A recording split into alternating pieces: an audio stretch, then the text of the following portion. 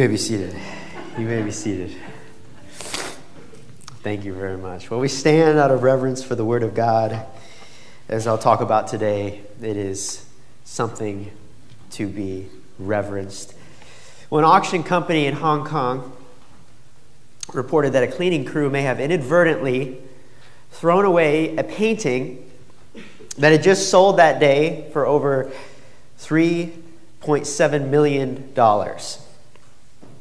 The auction house reported that the painting entitled Snowy Mountain was missing, and video footage showed a cleaning crew carrying it away as they were cleaning, and it was never found. The officials may fear it had been sent to the city landfill with the garbage. Now, the cleaning crew, they had no regard for what the painting was simply just because of their lack of understanding of its worth. Of course, if they had understood what it was, they would not have thrown it in the garbage.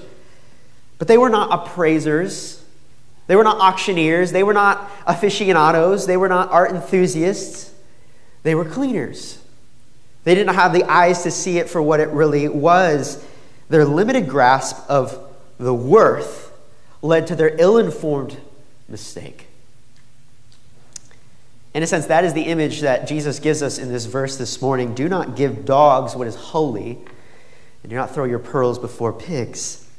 We are given in Christ, in his kingdom, a possession of such enormous and eternal value that our new nature in him, to see that value, must respond by taking care to protect that value, guard it, uphold it against the destruction which inevitably becomes of entrusting such treasure to the effects of the world, which is ignorant of its value. Of course, if they really had eyes to see, they would not have done such, would not have sinned. There's no telling what may become of you and I and the church of God if we let down our regard for what's been entrusted to us. All right? So I titled this message this morning in Matthew chapter 7, verse 6 Our Great Responsibility to Great Worth. Our great responsibility to great worth. Let's pray. Father, you have given us what we don't deserve, what we can never earn. And we must never be passive in our obedience. But God, open our eyes, our ears, and our hearts to the unsearchable riches of Christ this morning. And give us a renewed zeal and vigilance to properly take responsibility to guard and keep what you've entrusted to us. We belong to you. Your church belongs to you. Help us to keep holy what is holy and keep pure what is pure, keep true what is true.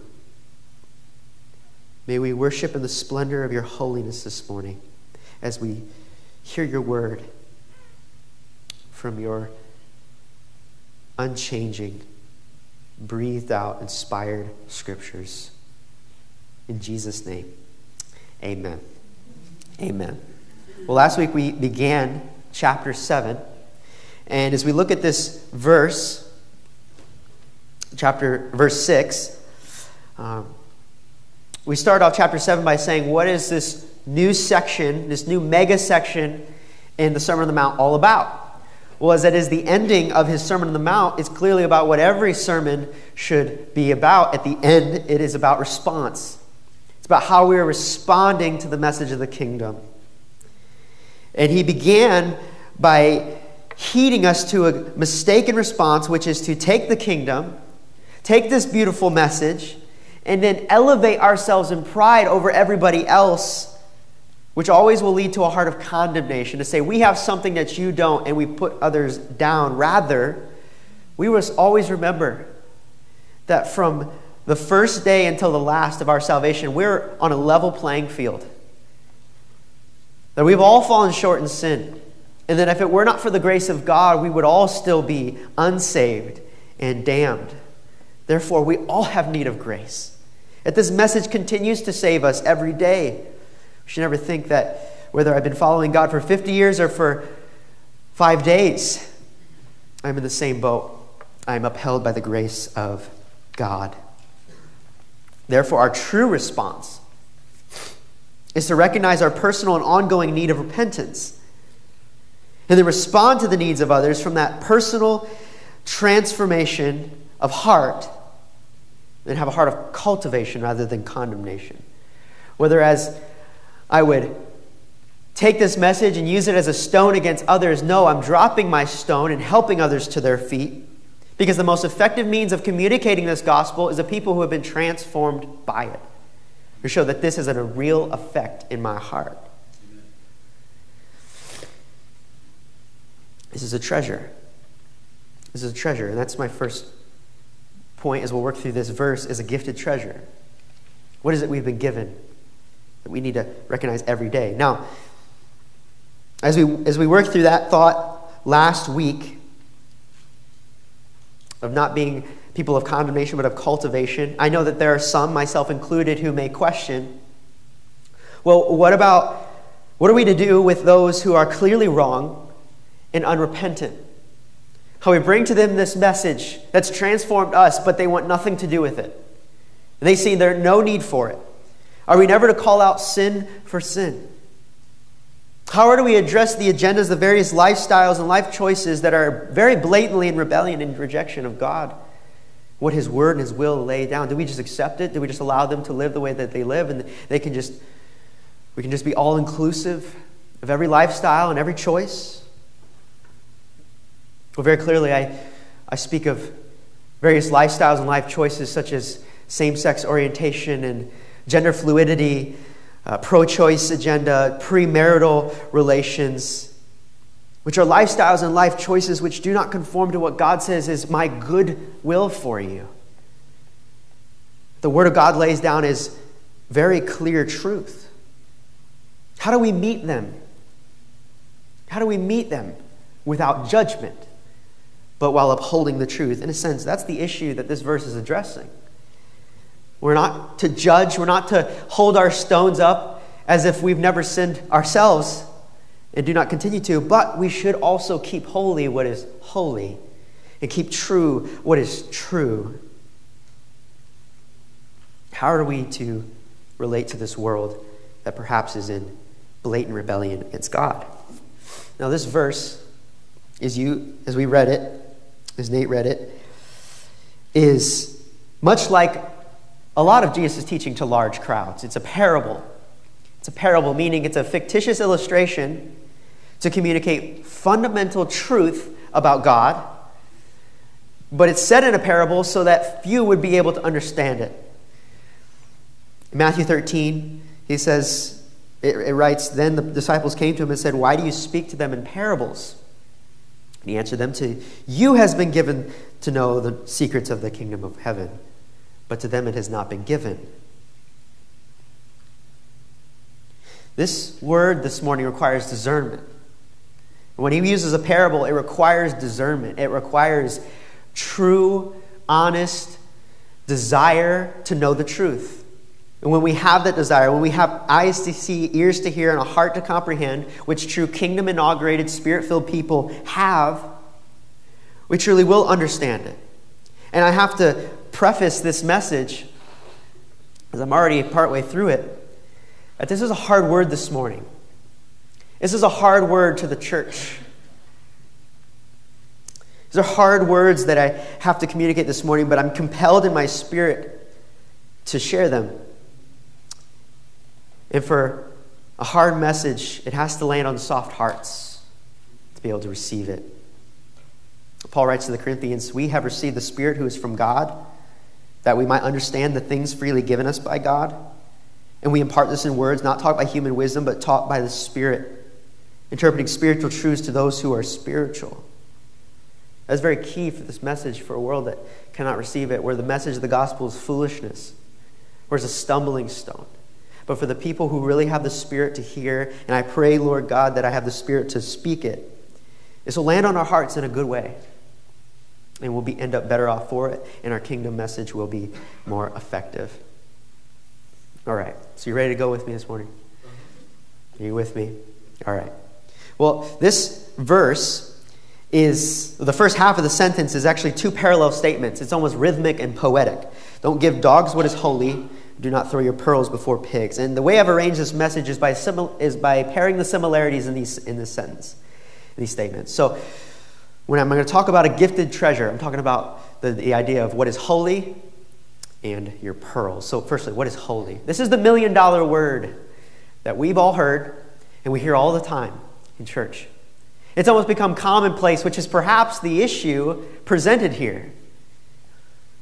Perhaps what Jesus is exposing in this verse that what is holy has become commonplace. Because what does holy mean? What does the word holy in the Bible mean? It does not mean perfect, it simply means set apart, consecrated, dedicated, different, it means sacred. And not just any sense of the meaning of those words. Because in the Bible, the biblical sense of the word holy is such because of its connection to who is holy. What is holy is such because of the connection to who is holy. Isaiah 57 15, for thus says the one who is high and lifted up, who inhabits eternity, whose name is holy. There is one who is holy. And everything else that is holy is only so because of its connection to who is holy. So, what is holy? These three words here is something or someone set apart by God for God. Set apart by God to belong to God and be useful to God. And so when we talk, when we're looking at this verse and he says, Don't give what is holy away, the only way that we could possibly do that is by first being given what is holy. Because we're not holy. And we don't have the capacity to make holy. Only God is holy and can make other things holy. So, to, in order to give what is holy away, we first have to be given what is holy. So, what do we have from God? Given us by God that is holy. We could run down just a quick list. We have the Holy Scripture, the Holy Bible. This is unlike any text, any book to ever be written in the history of the universe. It is different, it is set apart, it remains what it is throughout every generation. It is holy, it is inspired by God, it is given us by God. Is holy. We have the Holy Spirit. The Holy Spirit sent by Jesus to be in the heart of every believer, to be set apart, the power and presence of God in our lives to be long to God, be near God, be useful to God. We have the Holy Spirit. There's the Holy Church, the Holy Assembly of God. Unlike any other gathering that has ever been, uh, ever happened in any part of the world. When the people of God get together who are filled with the Holy Spirit, the Bible says that we are built together as a house, as a dwelling place for God. Like the tabernacle when the Holy Spirit, when the fire, cloud of fire descended on the tabernacle. That's essentially what should happen here this morning. Not necessarily literally, we're not going to be in a cloud of fire, but a sense of the white, hot, thick presence of God should be in this place. We have the Holy Communion, which we're going to partake this morning. And I'll talk a little bit later at the end of this sermon the, the representations of the body and blood of Jesus Christ, which saves us. That, that does not save it in and of itself, but it is a symbol of what we have received through faith in Jesus Christ. It reminds us that we are different. It is our banner for the church. It sets us apart. This is where we get our life. This is where we found our faith the body and blood of Jesus. Ultimately, none of these things are received as the holy gifts of God without salvation. We are made holy by God through faith in Jesus Christ to be right before Him and to be useful to Him. And the ultimate possession that you and I could ever possess, ever have entrusted to us by God, which we may be liable to wrongly give away, is our very selves. To belong to and be used by what is unfit for those who belonged only to God. are to be used only by God. We belong to God. You and I belong to God, no other. And he says, do not give essentially yourselves to anything else. First Peter, he writes, in First Peter, the Apostle Peter writes, As he has called you as holy, you also be holy all your conduct. Since it is written, and he quotes Leviticus, You shall be holy, for I am holy. So, holiness. Holiness. All right, let's go to pearls.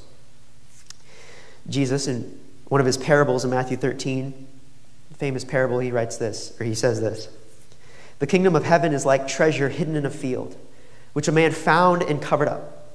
Then, in his joy, he goes and sells all that he has and buys that field. Again, the kingdom of heaven is like a merchant in search of fine pearls, who, on finding one pearl of great price, again went and sold all he had, and he bought it. So, this pearl, again, has to do with our salvation. Now, what do we think of when we imagine pearls? I don't know if any of you are wearing pearls this morning. I know I'm not.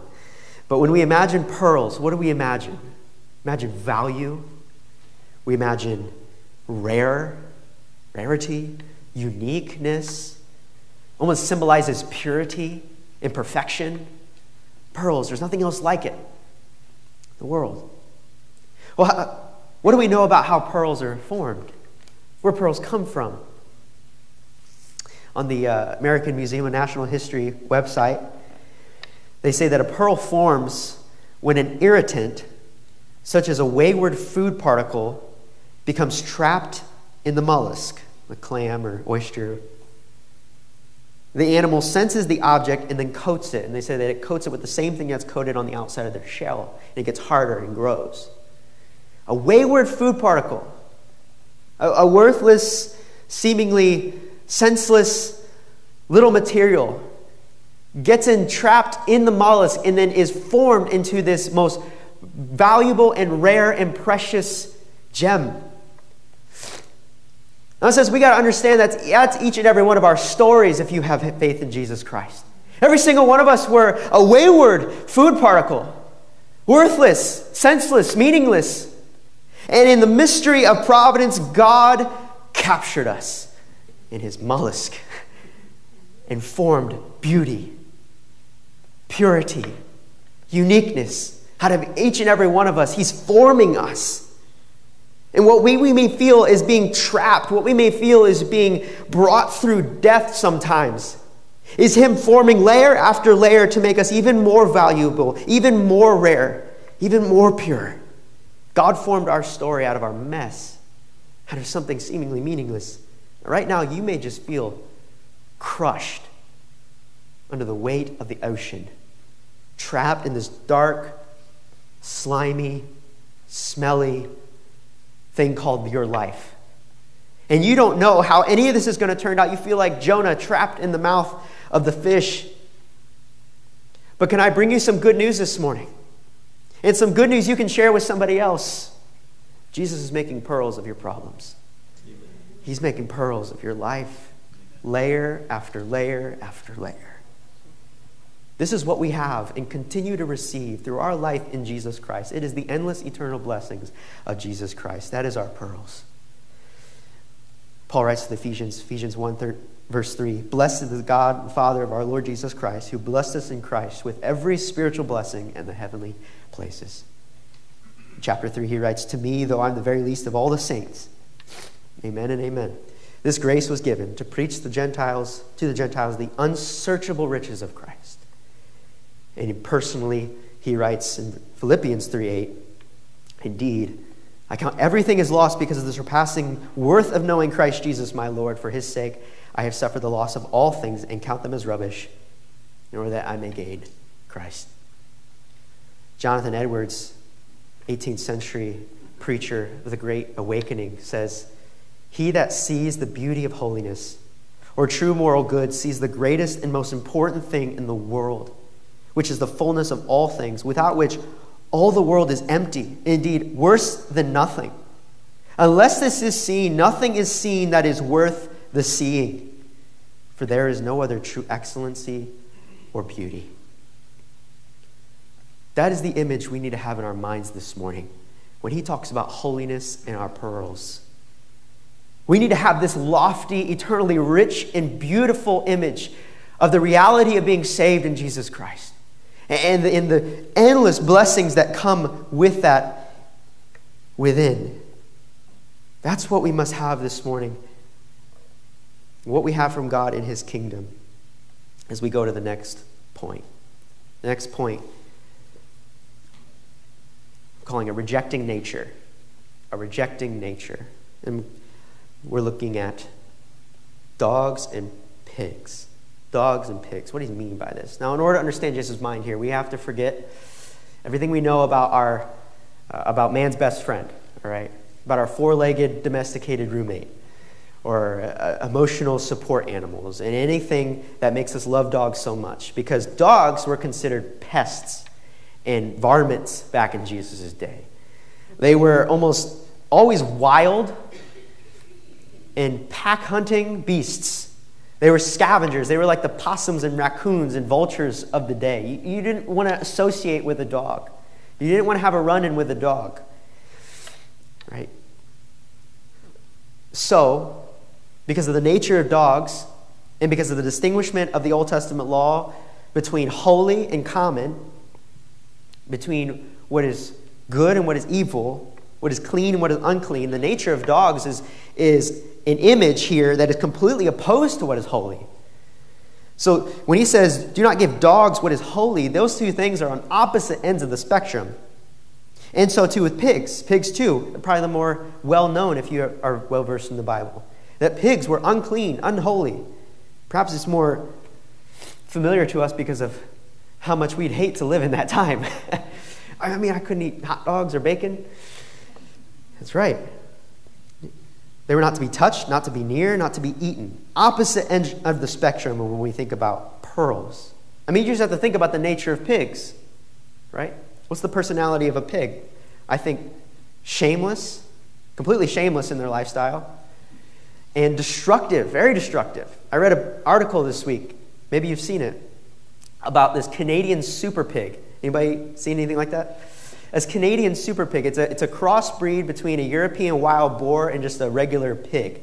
It's, they were uh, breeded to be able to withstand the harsh climate of Canada, of the, of the Canadian tundra. Well, inevitably, some got loose and they got out into the wild. They breeded, they multiplied. They're also breeded to multiply, give more. Uh, I don't know what you call them, piglets, right? To, to breed more so you can grow them more and more. But when they escape, they grow rampant and they're very destructive. And now they're moving down south into America, which is also a problem because we're from down south is coming north is American wild boars. Pigs are destructive. And so the nature of pigs does not render sensible and trusting pearls, something so precious and rare, valuable. You get the image that he's talking about here. Do you see the flashing red lights. Now, I'm not going to take time here to explain why we can adopt dogs and eat bacon now. I don't think it's important to this point. But the important thing is the clear, drastic, eye opening contrast Jesus is making between what is holy and what is common, between what is pure and valuable and what is defiled and worthless. The dogs and pigs, the nature of which describe a life separate from God, opposed to God, in rebellion, is to speak of the unsaved, unregenerate, lost, godless, worthless, useless nature of the world and the things of the world. Now, I do not mean that. And Jesus does not mean that in an offensive sense, because before Christ, we are all wild and shameless in our life, hating God and the things of God. Some other scriptures, Paul writes in Philippians 3 2, look out for the dogs. Look out for the evil doers. Look out for those who mutilate the flesh. Evildoers and those who mutilate the flesh give context to what he means by dogs. Revelation 22, we read, Blessed are those who wash their robes, who are holy, who are like white pearls because of what God has given them, so that they may have the right to the tree of life and that they may enter the city by the gates outside of the dogs, the sorcerers, the sexually immoral, and murderers, and idolaters, and everyone who loves and practices falsehood. Psalm 22, 16, For dogs encompass me, a company of evil doers encircles me. They have pierced my hands and feet. And even there you see prophecy to the Lord Jesus Christ, his crucifixion. Jesus is not saying this in offensive sense. We're not to always just go out and refer to the world as dogs and pigs. What he means to do, as I've said already, is to make this very clear, bold, stark, shocking, eye opening contrast. But the nature of what we've been given in Christ, you have been made holy as a gift. You have been bought by God to belong to God and be useful to God. And He has given you a valuable life in Christ, the unsearchable riches of Christ, that cannot be bought or sold by anything else but by faith. He's contrasting that to the nature of the world without Christ wild, shameless, false, destructive, wreaking havoc in this world. Surely, I don't have to give examples of how that is clear our world is self destructing. And he gives this big, eye opening statement to quicken our consideration of how we are to correctly respond to the kingdom and our responsibility. And I have this question How shall we allow this world to have its way with what belongs to God? How shall we allow what we've been given by God to be, fall into the hands of the world. Therefore, with these two contrasting natures, these two contrasting pictures between pearl and holy and dog and pigs, we consider the command because it brings the command in view. So, my last, my last point, point number three, is a destructive mistake. A destructive mistake. He says he starts off by saying, "Do not give." What does he mean by this? Do not give what is holy to the dogs. Well, the Greek renders this verb to mean, to help us understand that this is a moment by moment possibility. That's really what he means by do not give. It's a moment to moment possibility. In other words, there are situations, there are opportunities, there are moments in every part of our lives, in every day of our lives, where we have a choice to make as to how we're going to respond what choice am I going to make in this situation? Am I going to go right or left? And at times, he says that there's a choice that we make which is equal to giving what is holy to the dogs and throwing our pearls before pigs. Both verbs, give and throw, are the same word tense, so they're, they mean the same thing. But with give, the meaning of give, the point is to communicate that there's a willingness of our decision to treat what is holy as though it were common, and to treat what is valuable as though it were worthless. There's a moment by moment. We don't always make this choice, but sometimes that's the choice that we make. There's a willingness there to make that decision. Psalm 19, 13 says, Keep back your servant also from presumptuous sins. It's a prayer to say, Sometimes I get curious, and sometimes I, I willingly make this mistake. Sometimes I willingly sin. Hebrews 10:26 says something similar, for if we go on sinning deliberately after receiving the knowledge of the truth, after being made holy and receiving pearls from God, there no longer remains a sacrifice for sins. So there's this willingness to this verse here, a willingness. And then he says, do not throw. Do not throw your pearls before pigs. The meaning here is as to throw out, to throw out as if it's unimportant, to throw out as if it's worthless. And it communicates a carelessness, really. To throw pearls before pigs is to regard them, the pearls, as worthless and fit for pigs to do what they want with them. Right? Fit for destruction, fit to be thrown out. And with that idea, you understand how absurd and shocking and scandalous this verse is. Should I say, why would you do that? It doesn't make sense. If the cleaners had known how valuable the painting was, Of course, if one had true regard for the eternal beauty and priceless value of what they were throwing away, they would not throw it away. You and I would not make such an ill informed and unspeakable mistake. And that's essentially the main point being made. That's the issue at hand. This is a destructive mistake. Do we have little regard for the value that is entrusted to our care. And we go on to see the consequence. The consequence, lest they trample them underfoot and turn to attack you. This is a destructive mistake. This statement is to bring to our attention the reality that this is not some harmless, uh, meaningless mistake. There are consequences. It will cost you. It may just come back to bite you, literally. Not literally, but in the sense of the verse. Turn and attack you. He says, They, the dogs and the pigs, will trample them, what is holy in your pearls, underfoot. And what do we visualize when we visualize trampling? Right? We can understand what he's saying here. He's talking about damage and destruction and, and harmfulness and loss and pain. That's what it's going to lead to. Well, why does it lead to that? Why is this such a destructive mistake? Well, it's because of the nature of the image of dogs and pigs, the nature of a lost world, which you and I were once in. They cannot receive and appreciate and so honor the worth and beauty of what's been entrusted to us by God. They, they can't see the value, they can't see the nature.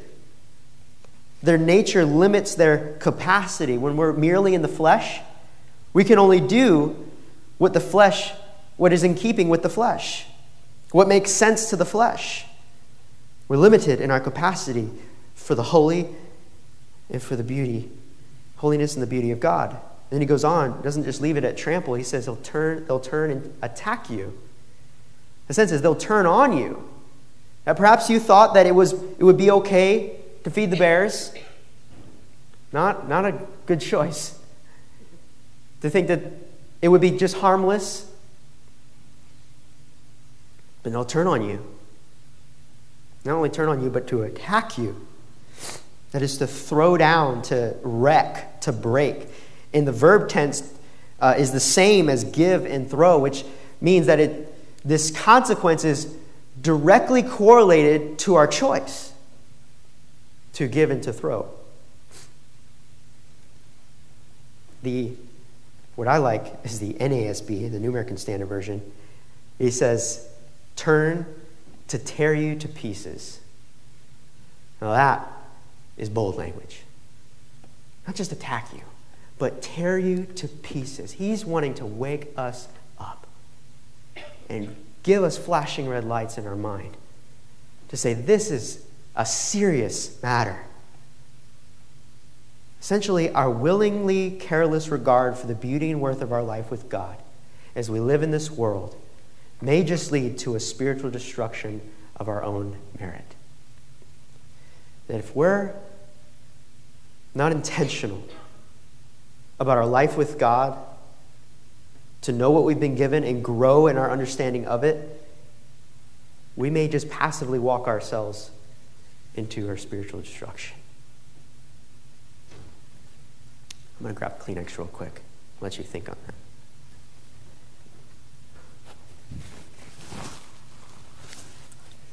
I can tell spring is coming.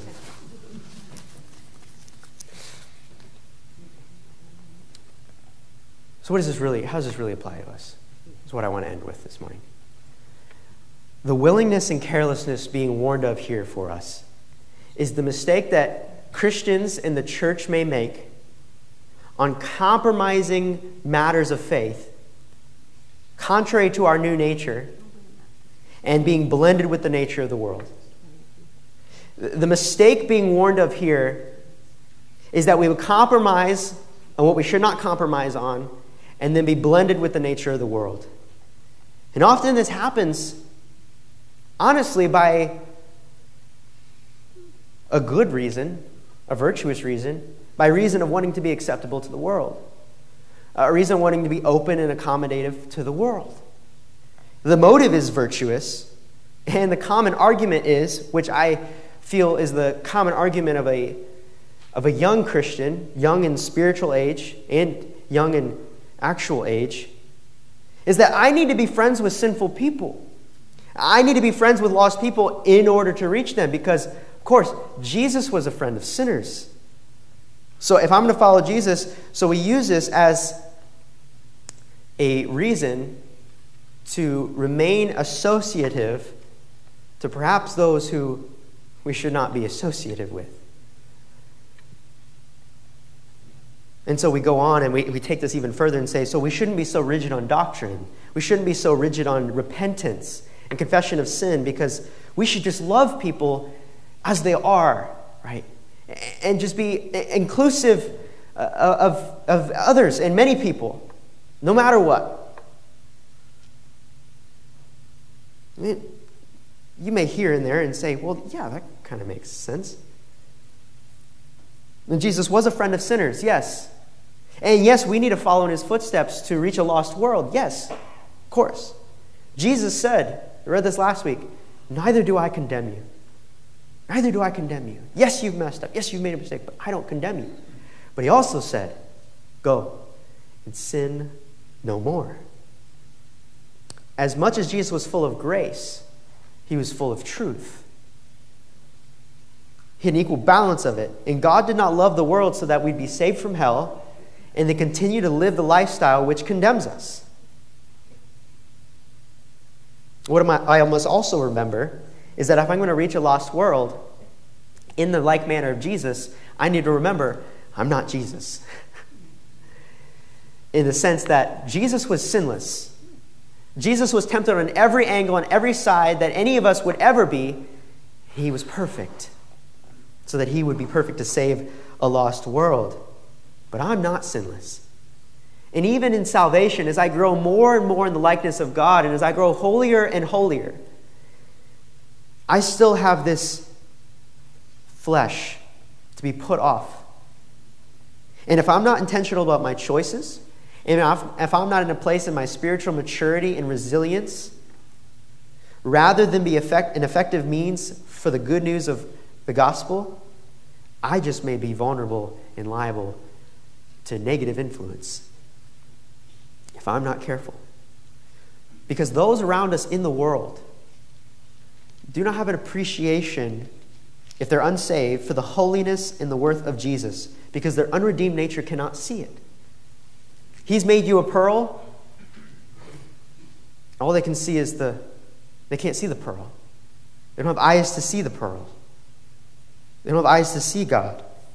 And they cannot respect this nature about me, but rather will only relate towards me according to their flesh, without regard for my spirit. We think of uh, when it started to become known to the world that there's actually dangers in secondhand smoke, you know? It's not harmless. You stand next to somebody who's smoking, you're breathing in the smoke, it's going to it's going to affect you. And we need to understand that the fault is not laid on the worldly person for the negative effects on my life. Because I've been entrusted with eternal life. And so that I've been entrusted with the responsibility in my regenerated nature to uphold and guard this gift and possession of great worth, this great, great gifted treasure. Therefore, it's, it would be my failure to regard that worth that leads me into spiritual destruction. I can't blame the world for what happens negatively to me because greater is he who is in you than he who is in the world. A few verses here. Blessed is the man, Psalm 1, who walks not in the counsel of the wicked, nor stands in the way of sinners, nor seat, sits in the seat of scoffers. But his delight is in the law of the Lord. And on his law he meditates day and night. 1 Corinthians 15 Do not be deceived. Bad company ruins good morals. Wake up from your drunken stupor, as is right, and do not go on sinning. For some have no knowledge of God. And the sense is, you do have a knowledge of God. You do have a knowledge of God. So don't go on sinning. We read this last week, Galatians 3 1. Sorry, 6 1. Keep watch on yourself, lest you too be tempted. The responsibility is laid on us to avoid temptation. After that great sermon on the day of Pentecost that Peter delivered, the, the crowd stopped him in the middle of the sermon because they were cut to the heart and they said, What shall we do? How shall we be saved? Peter said, Repent and be baptized, every one of you, in the name of the Lord Jesus Christ, for the forgiveness of your sins, and you will receive the gift of the Holy Spirit. For the promise is for you and for your children and all who are far off, and everyone whom the Lord our God calls to himself. And with many other wit- words, he bore witness and continued to exhort them, saying, Save yourselves from this crooked generation. Save yourselves from this crooked generation. I don't feel like we talk like that anymore. Save yourselves. As if you're in imminent danger. As if if I don't guard this gift, I may be trampled underfoot and torn to pieces. There is a responsibility laid on every single one of us to be actively participating in our, on, our own ongoing transformation and to intentionally resist the impressions of the world to interrupt that progress. It's not the world's fault if I'm spiritually dead or immature. Because, again, I've got the Holy Spirit. And greater is He is in me than He is in the world. Furthermore, so that's more in a personal sense, but the church. The church, at times, in the virtuous desire to be more opening and accepting, has compromised too far on the fundamental and sacred matters of faith and doctrine to her own destruction, allowing the world to affect the church, and we're trampled underfoot and torn to pieces. Paul writes to Timothy, he says, This charge I entrust to you, Timothy, my child, in accordance with the prophecies previously made about you, that by them you may wage the good warfare, holding faith and a good conscience. Because by rejecting this, some have made shipwreck of their faith. Some have not seen life as a war. So they don't wage the good warfare, they don't hold fast the faith and a good conscience. I want to say that if the unwavering and unbending authority of the Word of God gets benched in the church, as the church seeks to accommodate,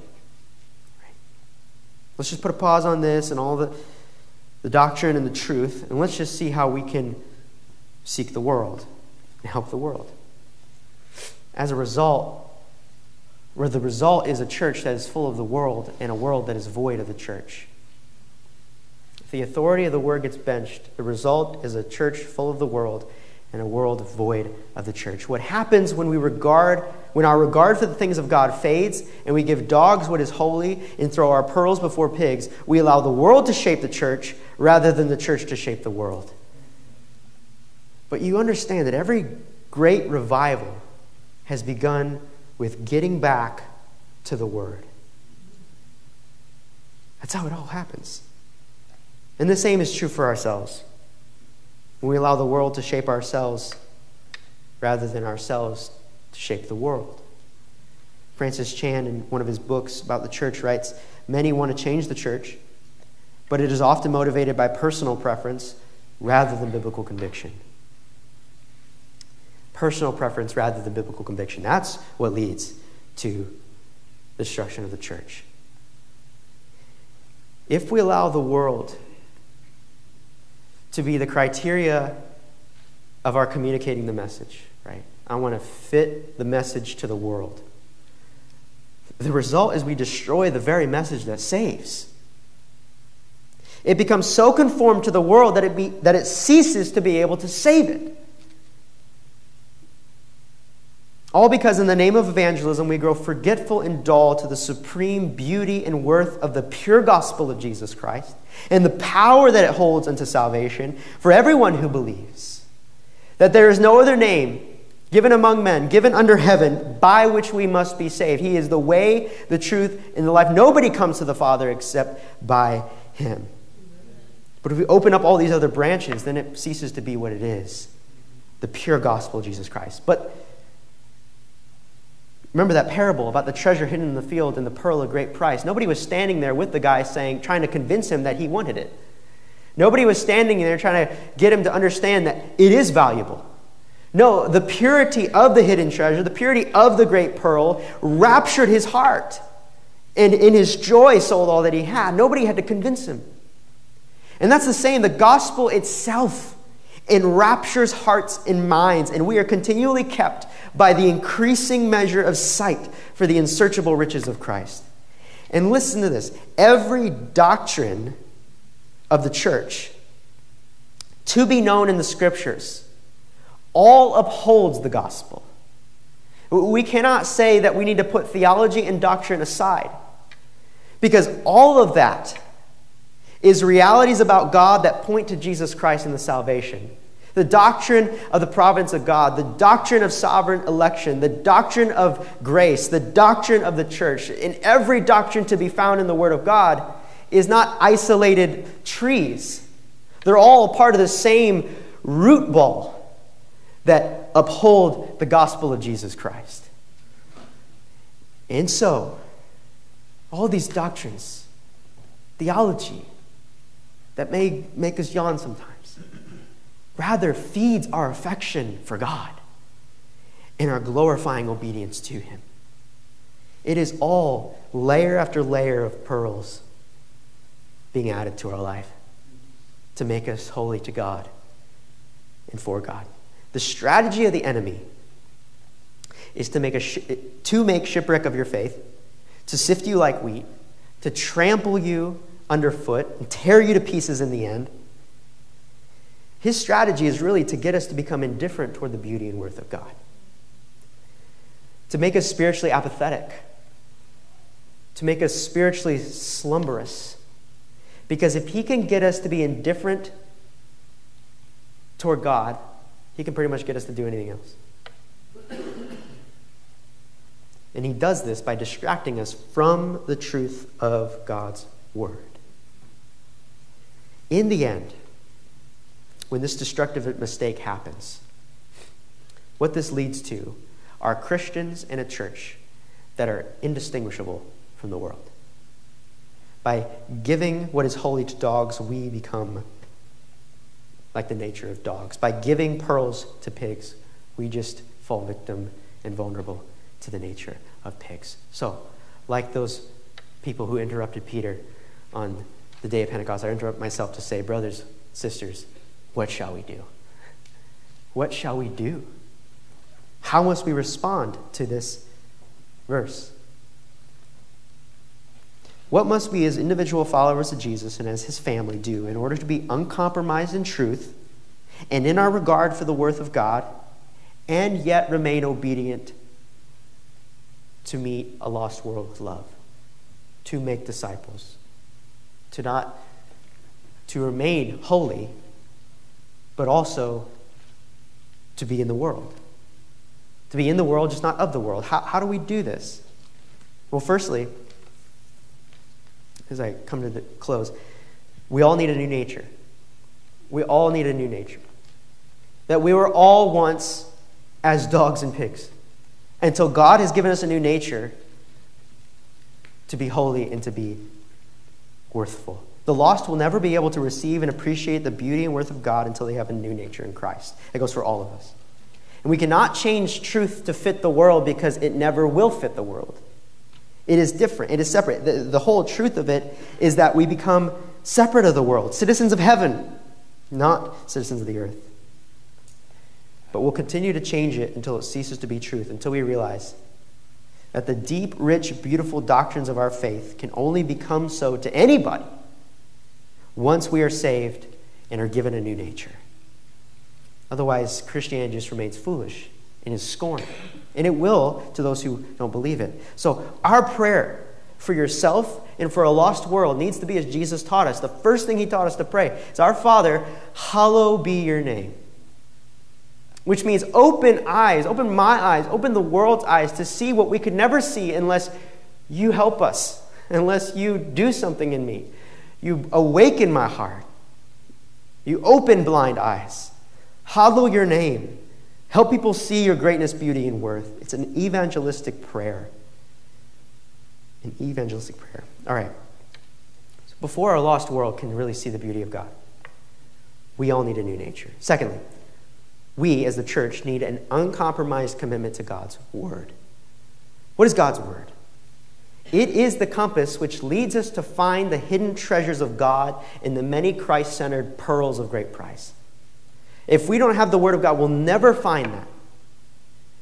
We'll never find them. And the very words themselves lead us to cherish the unsearchable riches of Christ and be satisfied in the boundless goodness of God.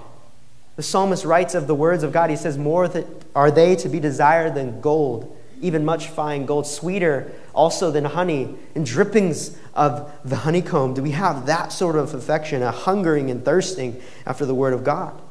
Without the Word of God, we are hopelessly, aimlessly living in the world with little regard in ourselves for the holiness that we have in Christ and the value to be guarded from the rejecting nature of the world. And we're vulnerable then.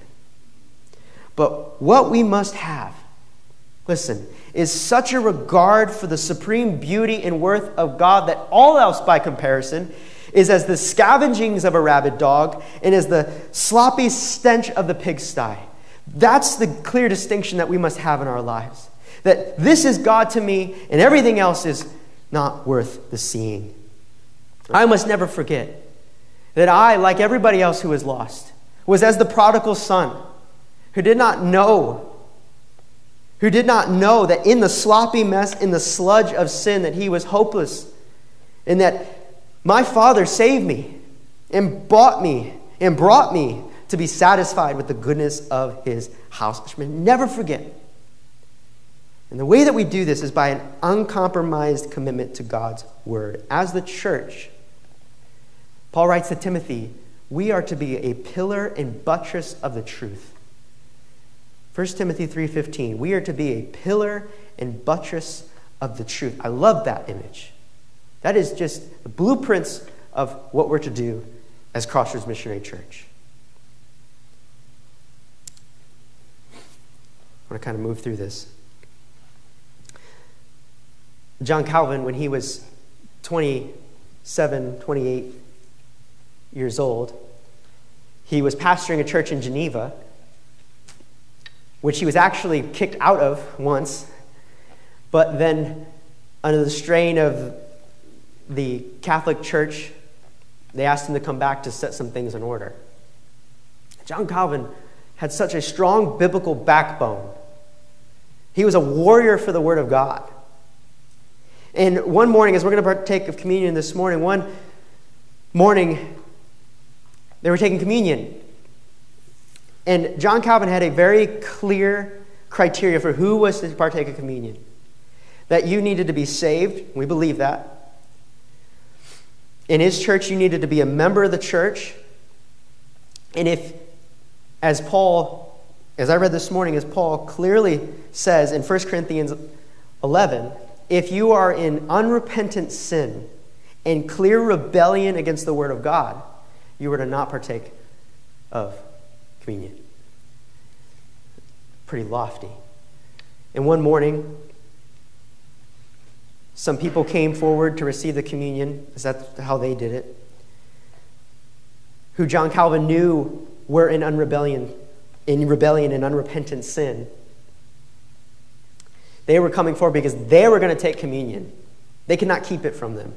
And he, he steps down from the pulpit, stands in front of the table, and says, These hands will never give what is holy to those who are unholy.